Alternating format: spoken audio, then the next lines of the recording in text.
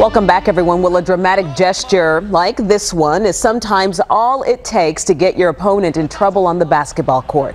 Sometimes it's hard to tell, though, what's real and what's not. But with money from Mavericks owner Mark Cuban, a research team in Dallas is doing a scientific study on the difference between fouls and flops. Here's Channel 8's Jason Wheeler. I mean, this is theatrical right here. Watch this. Oh, yeah. Oh, yeah. I forgot. I got to sell it more. Collapse. There are entire pages of entries on YouTube. And Boozer just throws Ori to the ground. He didn't throw him. Compilation videos of, well, depending on how you look at it, the best or the worst. All right, let's take a look. oh my! Incidences of flopping in the NBA. But that's a flop.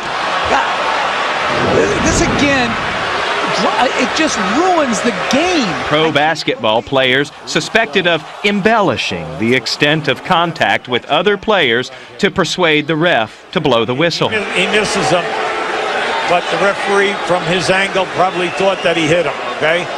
Because you can see Fernandez takes his head back. But how can you really tell, even with a replay, when an athlete is in fact faking a foul. Mark Cuban asked us if we were interested in doing it. With more than $100,000 in funding from the Dallas Mavericks owner Mark Cuban, SMU professor Peter Weyand and his team set out nine months ago on a research project dubbed The Physics of Flopping, blowing the whistle on a foul practice. A whimsical name, but a study that could change the way the game is played, or at least the way it's officiated. We try to have fun doing the science, but, but you're right. I mean, there's a lot if, if we're successful with it, there's a lot of potential application. It could have a big impact on the outcome of games and possibly even lead to new rules and penalties. So far, here's what they've come up with. We can get three-dimensional position data from wherever we put a reflective marker on a person's body. A player outfitted with special equipment stands on a podium that detects his every movement. Sensors and high-speed cameras rolling, he takes an intentional push as measurements are gathered on how much force he receives. Here's where he started, here's where he ended up. And just as importantly, how much force is given. Which is here in red. This push weighs in at 90 pounds. Yeah, the short answer is yes. Yeah, that's a, that's a real foul. Weyand plans to correlate the data on these charts to characteristics captured on video. If it all works out right, telltale signs of flopping could someday be detected by a computer program and then presented to a referee on a replay. The project will be completed by this summer at about the same time this NBA season comes to an end and a whole new slate of dramatic videos alleging the biggest flops of the year hits YouTube. Hey, you never know if there's a movie agent looking at watching this game right now. Jason Wheeler, Channel 8 News.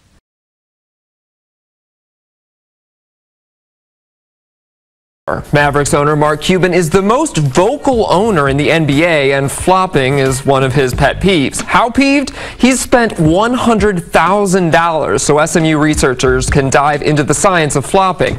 Today, we got to see that science in action. Lost the ball, picked up by Randolph.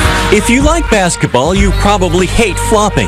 The NBA doesn't like it either and created this video before last season. This first play is an example of a flop that will be penalized. We tried to explain flopping a few months ago when the study was announced. Wheels and Claire are both heading for the nightcap coffee pot at the same time when all of a sudden the two make contact. Wheels is jolted back. He stumbles and falls, looking for a little help. That's what a referee should call. However, the level of contact on the play is inconsistent with the grossly embellished fall to the floor. Today, a team of five SMU researchers showed us how they're spending Mark Cuban's money. A push bar with four sensors measures force. Motion detectors show the reaction, which is then caught on video and the data recorded. Dr. Peter Weyand is leading the biomechanics study at SMU. This was the second push, which was the, the, the one he resisted more. So the peak force on that second push was about 90 pounds. And probably probably a legitimate foul. Maybe someday the study will allow flop-related fouls to be reviewed and calls changed by referees. Dr. Weyand says it's not too far-fetched, but telling the difference between a foul and a fake flop isn't easy. The skill and the art these days, a lot of times it, it's hard to tell because so many of the players have developed the skill of flopping that it's really difficult to detect. When the study is finished late next summer, SMU will have it peer-reviewed. And oh, by the way, Mark Cuban also gets a copy. I think he wants to use a scientific process and our expertise to get legitimate answers to these questions with the hope that we will be able to provide an applied tool that will protect the integrity of the game because flopping is a threat to that.